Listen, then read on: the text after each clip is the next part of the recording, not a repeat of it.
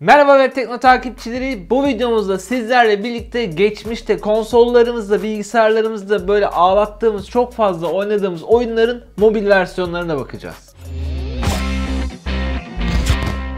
Hepimiz evdeyiz arkadaşlar. Evden çıkmıyoruz. Bol bol oyun oynayabilecek vaktimiz var. Bu vakti de güzel değerlendirmemiz lazım. O yüzden sizlere böyle güzel retro oyunlar listeledik. Bir sürü oyun var arkadaşlar. Listeye aldığımız, almadıklarımız da var. Eğer videoyu beğenirseniz tabii ki de farklı oyunları da alıp onları da sizler için deneriz. Şimdi hızlıca ilk oyunumuzla başlıyorum. İlk oyunumuz GTA Vice City. Vice City Android platformuna ilk çıktığı zaman yanlış hatırlamıyorsam 10 lira gibi bir fiyata almıştım. Şu an Android'de 23 TL, iOS için ise 35 TL arkadaşlar. Bildiğiniz gibi Tommy'nin hikayesini oynuyoruz arkadaşlar. 1986 yılında geçiyor. Klasik GTA'da ne yapıyorsak onu yapıyoruz. Çok güzel bir hikayesi var. Oyunu zaten oynayanlar vardır aranızda ama oynamayanlar mutlaka GTA'nın bu oyununu denesinler. Klavye ile mouse oynamaktan daha zormuş gibi geliyor ama bence rahat rahat oynayabiliyorsunuz mobilde de. Yine GTA serisini yapan arkadaşların ürettiği yani Rockstar'ın oyunlarından bir tanesi diğer oyunumuz Bully arkadaşlar. Gördüğünüz gibi bizi Bulworth Lisesi'ne ebeveynlerimiz böyle resmen terk diyara ediyorlar. Biz bu liseye giriyoruz ve lisede olaylar başlıyor. Olayımız da şu biz bu lisenin kralı olmaya çalışıyoruz. Okulda yaptığımız şeyler çok çeşitli arkadaşlar. Hani derslere girip dersleri de çözebiliyoruz. Bakın şu an bana oyunun daha başında 3 tane eleman bulaştı. Ben müsaadenizle onları bir güzel pataklıyorum. Hayırdır kardeş?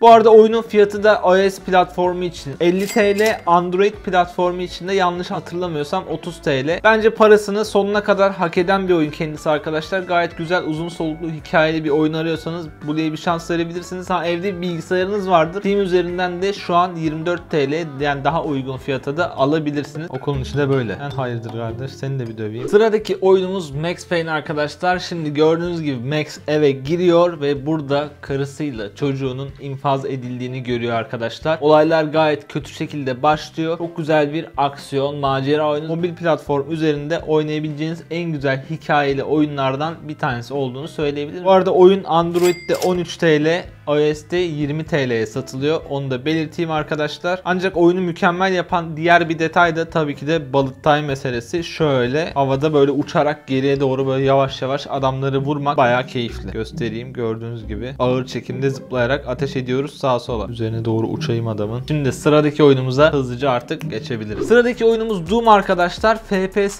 türünün böyle babalarından desek yanlış olmaz diye düşünüyorum arkadaşlar. Bildiğiniz vur kır parçalı oyunu. İlk olarak 93 yılında çıkmış. Yani 93 yılında çıkan bir FPS oyununu deneyimlemek isterseniz Doom'u kaçırmayın. Seriye de ya da özel bir ilginiz vardır. Bir yerden başlamak istiyorsunuzdur. Onun için bile deneyebilirsiniz diyelim. Oyun biraz pahalı gelebilir. Android için 33 TL verdim ben. iOS için de 35 TL'lik bir fiyatı varmış. Çok ilgi duyuyorsanız, merakınız varsa oynayabilirsiniz. Bunun dışında grafikleri günümüzde sizi sarar mı, sarmaz mı? Orası da ayrı bir merak konusu. Şu arkadaşı da yok edeyim sonra sıradaki oyuna geçelim. Sıradaki oyunumuz Sonic arkadaşlar. Sonic'e küçükken bulaşmamış yoktur. İlk oyunun birebir aynısı. Herhangi bir ücret ödemiyoruz arkadaşlar. Sony hayatında bir kere birisi bir yerde oynatmıştır size yani. Bu Sonic'in bir derdi var ama ne acaba ya? Sıradaki oyunumuz Crazy Taxi. Yine Sonic gibi Sega yapımı bir oyun arkadaşlar. Biz bir taksi şoförüyüz. Müşterilerimizi alıyoruz. Onların belirlediği en kısa sürede istedikleri yere onları ulaştırmak. Öyle yanında durmamız lazım. Görüyorsunuz gelen tip de değişik. Şöyle ok işaretiyle bize ne tarafa doğru gideceğimizi gösteriyor. Gördüğünüz gibi 49 saniyem var. Sonic gibi bu da iki platformda bedava. Bunu hatırlatayım arkadaşlar. Bence bayağı keyifli, güzel bir oyun. Kesinlikle indirip deneyin. Şu müşteriyi şöyle yerine bırakayım. Sıradaki oyunumuz bence listedeki en iyi oyunlardan bir tanesi ve aynı zamanda en güzel grafikli oyunlardan bir tanesi Life is Strange arkadaşlar. Max isimli bir arkadaşı biz burada yönlendiriyoruz. Bu arkadaşın da olayı şu zamanı geriye doğru sarabiliyor. Yani mesela bir olay oluyor. Şimdi burada öğretmeniyle konuşuyor. Yanlış cevap verdi. Olayı geriye sarıp hani öğretmene doğru cevabı vermiş oluyor aslında. Olay sadece böyle sınıfta geçen muhabbet değil dışarıya falan çıkıyoruz. Baya aksiyonlu, güzel senaryolu bir oyun. Yalnız şöyle kötü tarafları da var bu zamanı geriye sarmanın. Eğer düzgünce geriye saramazsak olaylar tersine tepiyor, kötüye doğru gitmeye başlıyor. Zaten oyunda biraz bunun üzerine kurulu. İlk etapta ilk hikayesi ücretsiz arkadaşlar. Geriye kalan senaryolarını satın almak istiyorsanız para ödemeniz lazım. Her episode için değişebiliyor bu ücret. Oyun 2016 veya 2015'te çıkmıştı yanlış hatırlamıyorsam. Biraz böyle net Netflix dizisi gibi, gençlik dizisi gibi havası var. Ancak senaryo olarak gayet kuvvetli, güzel bir oyun olduğunu söylemeliyim. Trouble for No, this. he has a gun. Nobody. I should do something else. Missed your punk ass, would they? Get that gun away from me, psycho!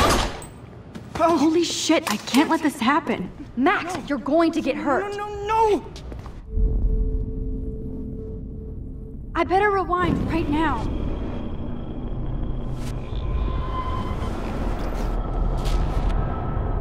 For this than drugs. Nobody would ever even miss I need a hammer to break it open. they? No way! Don't ever touch me again, freak!